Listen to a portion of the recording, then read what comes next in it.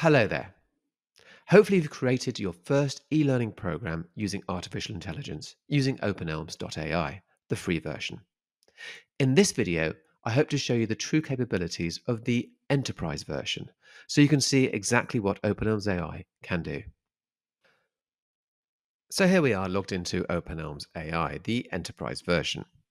We can tell it's the enterprise version because we can produce a lot longer courses. So we can produce in-depth courses, which are between an hour and a half and two hours long. Um, the the more up you go in the versions, the the, the larger the number, the larger courses you can produce.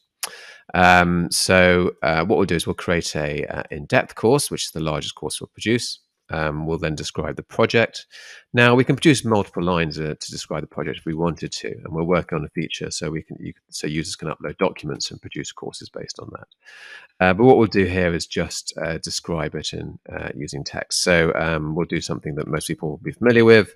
So we'll say um, working under the working within the GDPR legislation legislation when working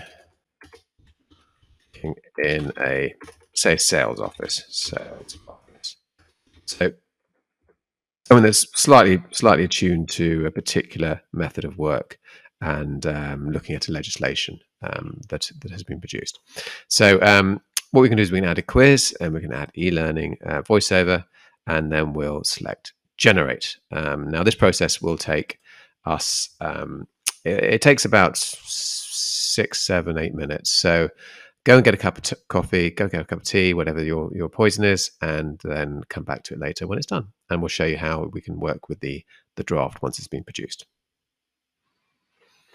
It took slightly longer than we had expected, but at around 10 minutes, we've now got our course.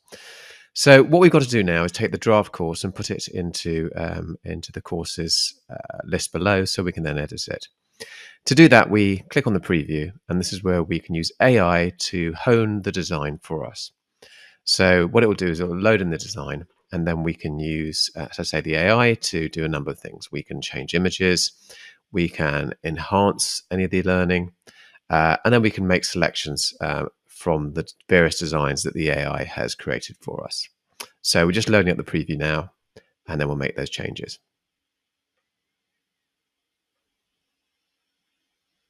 Okay, so here we have the preview. So we have our le learning goals here.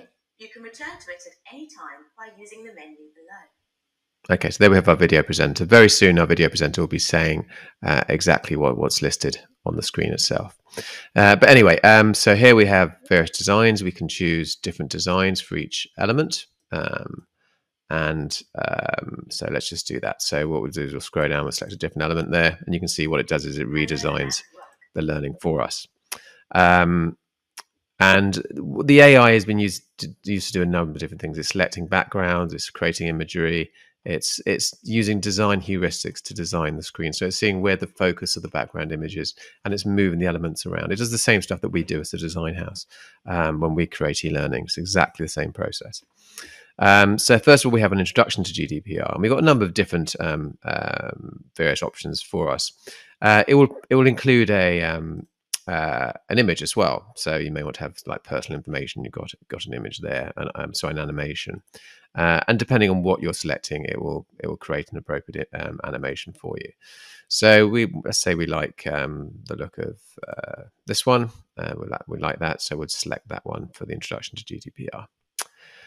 Uh, objectives of implementing GDPR. Now, we can choose uh, one of any ones of these. Uh, we might think this is not appropriate, um, but um, so let's uh, select our own. So what we'll do is we'll uh, create a, a photorealistic image uh, to do with the objectives of implementing GDPR. And what we're doing now is we're using um, AI on the fly to create a new image for us for that would describe whatever's in here. So here it's basically seen GDPR. It's it's got a, an image of a, a cracked computer and a lock in the middle of it. Fairly generic, but that's what the AI has produced for us from scratch. Uh, scope of GDPR. Here we've got information about the scope of the GDPR. Um, if we wanted to increase any of these sections, we can do that. So what we'll do is we'll basically um, increase this, let's say, to three subsections and then proceed. And instead of having this uh, area just described by one screen, we're now enhancing it to include three different screens. So it's just going to process that accordingly. And having done that, we can then choose different backgrounds for each of the steps in that uh, in the, under the scope of GDPR. So we just let the GDP, uh, the AI create that for us. As you can see now it's created and we've got three additional screens here. So it goes into more depth about that area of, of, of GDPR. And we can select different backgrounds for each of these um, different areas uh, like so. So when you're when the user's using the learning, they've got different, they're taken through a different journey accordingly. Um, key principles of GDPR. Um, again, we've got background images we can select from uh, GDPR and Sales Office and overview. Um, we can see that's not really appropriate, so um, we'll have to select something a little bit more appropriate. Uh, consent in GDPR. Um, so again, this is not appropriate. So we can create an AI generated background, and we don't have to, to, to, wait for it. We can basically just get that processing for us, and while we while we continue on. Roles under the GDPR. Um, uh, so we can select whatever we want to under here. Um, impact of the of GDPR sales strategies. You can see a, a lot of these images are um, the content is quite similar in in what it's describing. So if it was something like working at height, you would have different um, cases of working at height and different different uh, different backgrounds. But here it's quite similar. It's quite samey. So, um, but the the animations will will, um, will, will lift it and, and, add visual interest. And so we get through to the end. Um, if we just go scroll back up again, we'll see the image that we've created. Um, I think that's consent in GDPR, so that's one we created there. Um, uh, rights the data subject, etc., etc. So we'll just scroll to the bottom. You can see it's quite an in-depth course. We have a summary, with again with a video presenter that would would come on and give us some information, and we have some quiz questions there. Now this is you can see basically with these courses, the, the longer the course, the more more questions there are. Now we press create e-learning and that's going to create the course for, for us, but that's not fait accompli. Um, what we can do now that is edit the course now it's being created. Um, so uh, before we show you the other functionality, we'll just go in and edit the course and show you how we can then uh, make, really make this our own course using the Open eLMS Creator uh, um, software included with the system. So you can see here we've got the, the e-learning we created before. Um, just pause that. And you can see we can move any element around the screen if we wanted to. And we can double click as well and we can um, we can edit any of the content we want to as well. Um, this is a preview of, of the of the learning, and, and it works in the same way that a learner would work. So it's really is a what what what it what you see is what you get type of um, editing system. So you can move stuff around. Um, if you wanted to, you can change the background. You can upload your own imagery. You're not you're not um, uh, limited to the imagery we have here, uh, but you can also um, uh, use um, our library of imagery to select images within the system. So here, let's just choose an office, and then we can choose an office here, data collection GDPR. And if we wanted to include um, some sort of animation in here, let's just say we wanted to include uh, vase. We have a vase here. Um, yes, there's a vase. And you can see now we've uh, got a vase we can put on the table. And you can do things like birds flying in the sky, um, a cat walking on and off the screen, or whatever. Uh, and you can see everything uh, can be adjusted and put into the context. So you can upload your own images, upload your own uh, background images, animations, whatever you want to, video. Um, if you wanted, if you had your own video content there, you wanted to add it. So, say if you wanted um, to add a, a video about um, GDPR from YouTube, you can insert that uh, and then we can uh, insert that and put that on screen in the background there.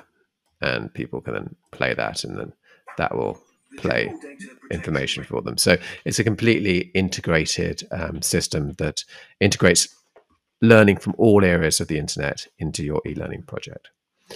Um, and and that's it really. Um, it's as simple as that. Um, your quiz is there. Uh, you can obviously edit the quiz um, and um, you had the summary at the end. But this is basically the course that we that you created um, when you were doing the when you were creating the um, uh, e-learning the preview view. But now you can get in there, double click, you can uh, uh,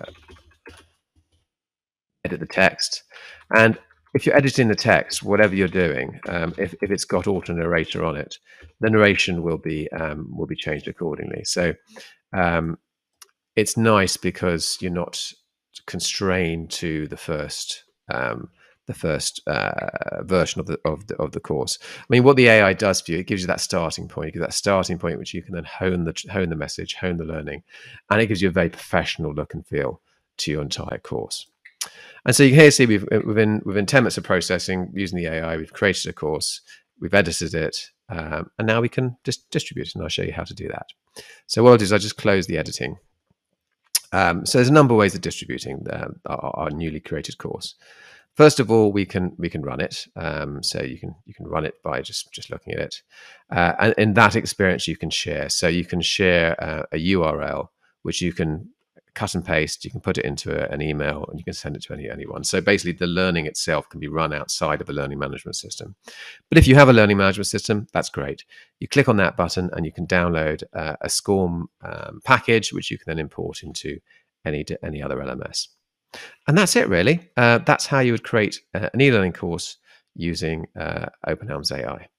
Um, the major advantage of this is it is it produces courses which can be completely tailored to your own organization. So you're not constrained necessarily to the information in uh, large AI knowledge bases.